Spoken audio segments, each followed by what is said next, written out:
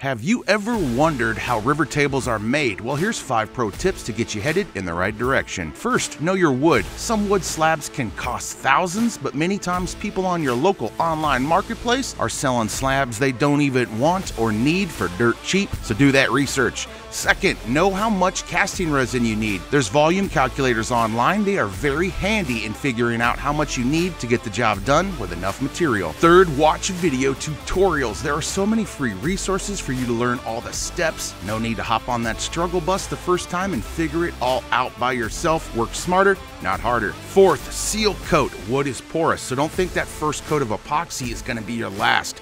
Bubbles are going to come out of that wood. Make sure you do a solid job sealing that slab before you apply that thick coat of epoxy. And lastly, start off small. Make a coffee table or serving board on a small scale, and then you're ready for that big table. Turn your hobby into a side hustle.